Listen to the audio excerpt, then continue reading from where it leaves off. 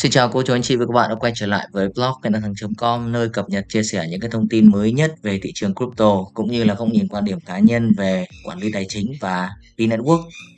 Xin chào tất cả các bạn, như vậy là chúng ta đã trải qua 6 tuần à, trong cái quá trình series của cái à, postcard về đầu tư tài chính cá nhân.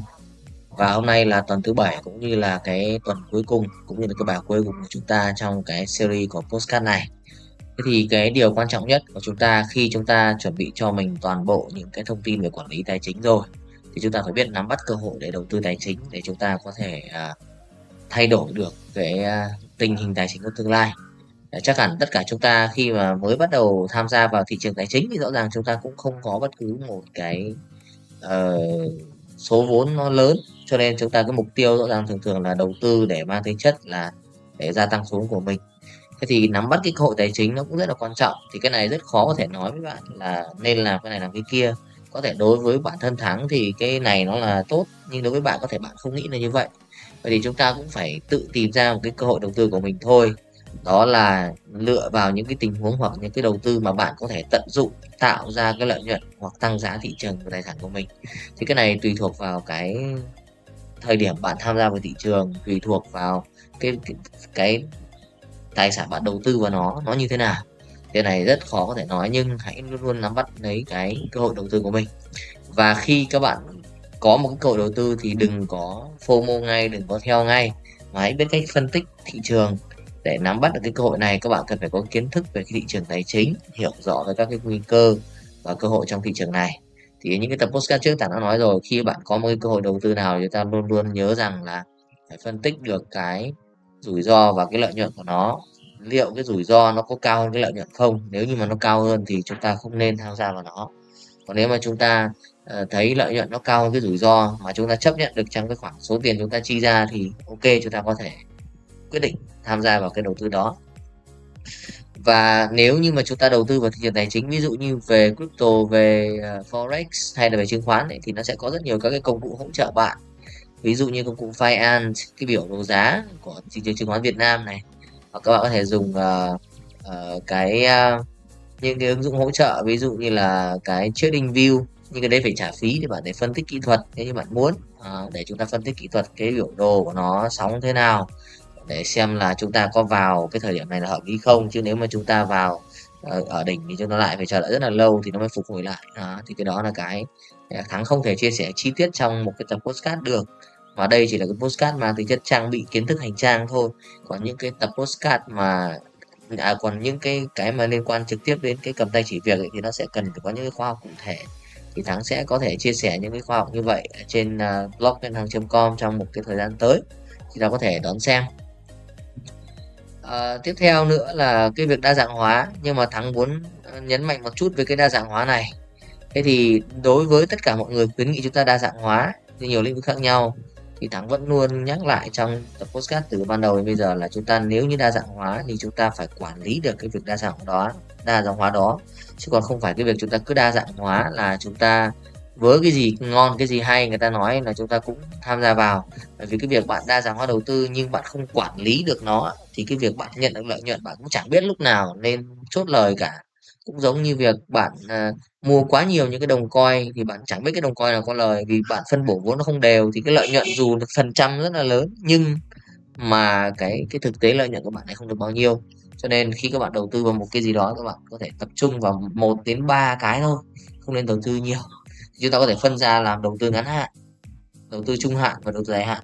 Thì đối với đầu tư ngắn hạn thì nếu như bạn mà biết nắm bắt được cái thị trường tốt thì, thì bạn hãy tham gia vào những thị trường như forex và crypto nhưng cái này yêu cầu phải có vốn các bạn cho nên là các bạn lưu ý là chúng ta không được tất tay, không được, chúng ta phải quản lý vốn thật là chặt, thật là tốt. Thắng không có dành quá nhiều về cái làm, cái đánh future hoặc là cái rank như này. Cho nên là thắng không có thể nào khuyến nghị các bạn được. Nhưng về mặt ngắn hạn thì nó là cái sinh ra lợi nhuận. Trung hạn thì bạn có thể đầu tư vào chứng khoán. Ví dụ bạn biết cái cổ phiếu này nó ok thì bạn có thể mua nó, nắm giữ một cái thời gian nó dài thì ok, không vấn đề gì nhưng các bạn phải biết cách chọn cổ phiếu thì các bạn sẽ phải có một cái kinh nghiệm đọc báo cáo tài chính. Các bạn phải biết là cái ngành hàng của cái doanh nghiệp này nó có phải là ngành hàng tốt không, nó có tồn tại với thời gian không, hay cái ngành hàng này nó chỉ trong ngắn hạn hoặc cái thời điểm nào đó thôi. Rồi các bạn phải kiểm tra những cái chỉ số như là P trên E này, kiểm tra à, rất nhiều những cái chỉ số khác thì bạn mới biết được là cái, cái sức khỏe của doanh nghiệp nó như thế nào đúng không ạ? Thì chúng ta mới quyết định đầu tư hay không? Đó thì với về mặt trung hạn. Còn dài hạn thì rõ ràng thắng nghĩ rằng đầu tư bất động sản hoặc những cái đồng uh, những cái cổ phiếu uh, như kiểu là blue chip ấy thì có lẽ thì ok hơn. Cho cái này chúng ta sẽ đầu tư dài hạn theo hướng là 3 đến 5 năm chứ nó không thể nào mà lâu được. Và với cái, cái đầu tư dài hạn này ấy, thì rõ ràng là chúng ta sẽ phải có một cái số vốn lớn chứ còn nếu như mà có một cái số vốn nhỏ thì thằng khuyên nghị chúng ta nên ở mức trung hạn ở mức độ ngắn hạn thôi. Còn nếu như chúng ta không có nhiều không có tiền mà đầu tư theo dạng thức trung dài hạn ngắn hạn này thì chúng ta hãy tham khảo những cái dự án mà nó mới nổi. Nó đang có những cái chính sách à, airdrop miễn phí như là VNetworks, iNetwork đó. Thì những cái đó thắng có chia sẻ rất là chi tiết ở trên kênh YouTube của thắng rồi. Thì các bạn có thể tham khảo là chúng ta có thể bắt đầu một cái quá trình tạo cho chúng ta một cái tài sản mặc dù cái tài sản đó ở thời hiện tại nó chưa có giá trị lớn hoặc là thậm chí nó chưa có giá trị ở thời hiện tại nhưng sau này khi mà nó được uh, đạt được một số những cái chính sách nhất định nó có thể lên mainnet rồi thì lúc đó cái giá trị của nó sẽ có thì tự nhiên lúc đó chúng ta sẽ có tiền. Chúng ta làm những cái việc khác về đầu tư khác nữa thì chúng ta đa dạng hóa đầu tư của mình. Đó là cái điều rất là quan trọng. Và cuối cùng đó là khi các bạn quyết định đầu tư thì chúng ta phải nên một cái kế hoạch rõ ràng các bạn chứ chúng ta không thể nào đầu tư theo hứng được. Chúng ta thấy nay cái này hay quá cho nên đầu tư mai chúng ta lại thấy cái hay quá cho nên đầu tư. Thì cái việc lên kế hoạch đầu tư sẽ giúp bạn quản lý cái cái tài chính của bạn một cách dễ hơn. Thì đó là những cái mà thắng có thể chia sẻ với bạn trong cái tập 7 này. Thì nó khá là ngắn, nó không có dài. Thế nhưng mà chúng ta đã cùng nhau trải qua cơ bản để chúng ta hiểu được về đầu tư. Chúng ta cần phải làm gì khi chúng ta quyết định đầu tư, đúng không ạ? Chúng ta phải biết cái cách phân tích thị trường, chúng ta phải đa dạng hóa theo cái năng lực tài chính, cái sức khỏe tài chính của chúng ta. Và chúng ta phải biết cân bằng cái tài chính của mình để chúng ta có một cái cuộc sống nó thoải mái. Không vì cái việc đầu tư quá mà chúng ta ảnh hưởng đến cái công việc trong cuộc sống như công việc khác. Chúng ta luôn nhớ rằng là đầu tư tài chính nó là một cái góc nhỏ của cuộc sống thôi, còn chúng ta vẫn cứ phải đi làm, chúng ta vẫn cứ phải trở thành một à, người làm công hoặc chúng ta trở thành một người tự doanh. Ờ, nếu mà chúng ta có một cái doanh nghiệp lớn rồi thì rõ ràng cái việc đầu tư nó là cái gì đó gần như là sẽ xảy ra còn với những anh em cô chú anh chị các bạn chúng ta ở cái người là những người tự doanh hoặc cái người mà làm công ăn lương thì thường thường chúng ta ít nghĩ về đầu tư hơn. Thì chúng ta thường thường hay có cái xu hướng là mua vàng tích trữ.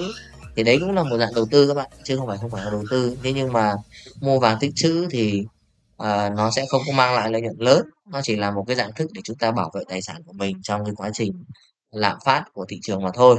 Dù sao thì chúng ta nên đa dạng hóa đầu tư theo hình thức quản lý được đa dạng hóa của mình. Chứ đừng nên đa dạng hóa theo cái kiểu tức là cái gì cũng, cũng mua cái gì cũng muốn có thì nó sẽ rất là khó. Như vậy chúng ta sẽ bị loãng cái tài chính của mình. Rồi thì đây là tất cả những gì thắng có thể chia sẻ trong 7 cái tập 7 tuần liên tục của chúng ta về cái đầu tư tài chính quản lý tài chính cá nhân. Thắng hy vọng rằng những cái chia sẻ của thắng nó có thể hữu ích với cô chú anh chị của các bạn và hãy bắt đầu ngay từ thời điểm bây giờ để chúng ta có thể có một cái khoản được tiền đầu tư hoặc có thể có một cái tài sản để chúng ta nắm giữ ít nhất đến thời điểm hiện tại. Thì trong cái thời gian, không gian số như thế này, chúng ta hãy nắm giữ những cái tài sản số là một trong những cái mà nó tốt nhất, thay vì chúng ta nắm giữ những cái tài sản vật lý.